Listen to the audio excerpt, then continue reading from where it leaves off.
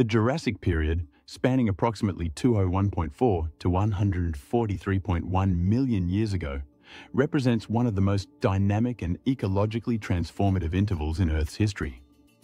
It sits in the middle of the Mesozoic era, flanked by the Triassic before it and the Cretaceous after it, acting as a geological and biological bridge between two monumental epochs.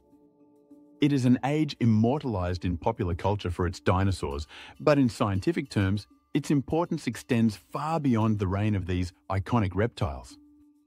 The Jurassic was a time of climatic warmth, continental drift, evolutionary innovation, and ecological reorganization that reshaped the course of life on Earth.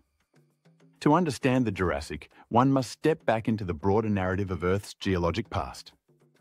The Mesozoic era, often dubbed the Age of Reptiles, was a time of profound transitions. The Jurassic began in the shadow of the Triassic-Jurassic extinction event, a cataclysm that paved the way for dinosaurs to rise to global dominance. Meanwhile, the supercontinent Pangaea was fracturing, setting the stage for the geographic and climatic diversity that would define much of the planet's later history.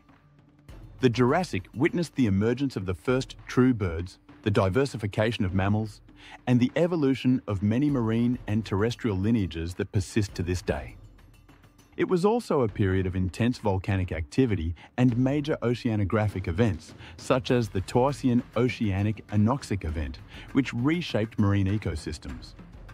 This video argues that the Jurassic period was a pivotal evolutionary and geological chapter in Earth's history, marked by continental reconfiguration, a warm and dynamic climate, and major biological innovations. That laid the groundwork for modern ecosystems while showcasing some of the most iconic life forms ever to inhabit the planet. Jurassic World was a planet in motion. At its dawn, the supercontinent Pangaea, formed during the late Paleozoic, had begun to tear apart. This rifting process created two massive landmasses, Laurasia in the north and Gondwana in the south. Between them, widening rift valleys began filling with water, eventually giving birth to the Atlantic Ocean. This tectonic activity was accompanied by volcanic outpourings on an enormous scale, particularly in regions such as the Karoo-Ferrar large igneous provinces. These eruptions released vast amounts of greenhouse gases, reinforcing the already warm global climate. The Jurassic climate was strikingly different from today's. There were no polar ice caps, and temperatures were higher worldwide, with relatively small differences between equator and poles. The warmth allowed lush conifer forests to extend into polar regions, while low-latitude interiors remained arid or semi-arid. Seasonal monsoons occurred in some areas due to shifting continental positions and oceanic currents. Crucially, this greenhouse climate and the breakup of Pangaea created a patchwork of habitats, encouraging regional diversification of species and laying the foundation for evolutionary experimentation. Marine environments also transformed. The fragmentation of continents increased the number of shallow continental seas, prime real estate for marine life. These warm, nutrient-rich waters hosted extensive reef systems dominated by sponges and corals, while ammonites and belemnites thrived as important marine invertebrates the Toarcian Oceanic Anoxic event. Around 183 million years ago, temporarily disrupted these ecosystems by reducing oxygen levels in the seas, leading to extinctions and significant turnovers in marine biodiversity. The Jurassic was a crucible of evolutionary creativity. In terrestrial ecosystems, dinosaurs emerged as the undisputed rulers.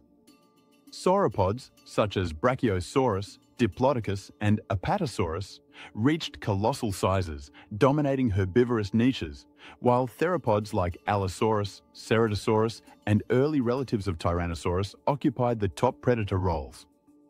The evolutionary arms race between predator and prey drove adaptations in speed, defensive structures, and sensory capabilities. Perhaps the most famous evolutionary milestone of the Jurassic was the appearance of the first birds.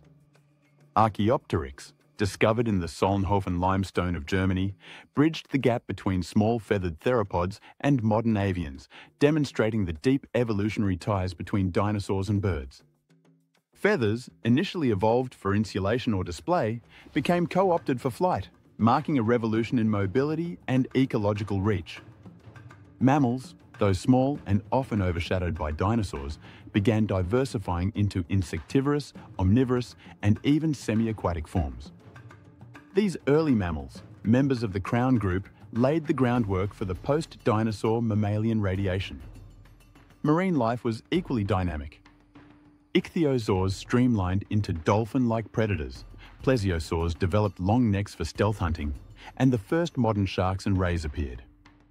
Teleost fish, now the most diverse vertebrate group on Earth, began their evolutionary journey in the Jurassic seas. The flora was dominated by gymnosperms, especially conifers, alongside cycads, ginkgos and bennettitales. These plants formed the backbone of terrestrial ecosystems, supporting vast herds of herbivorous dinosaurs and shaping the landscape with towering canopies and dense understories.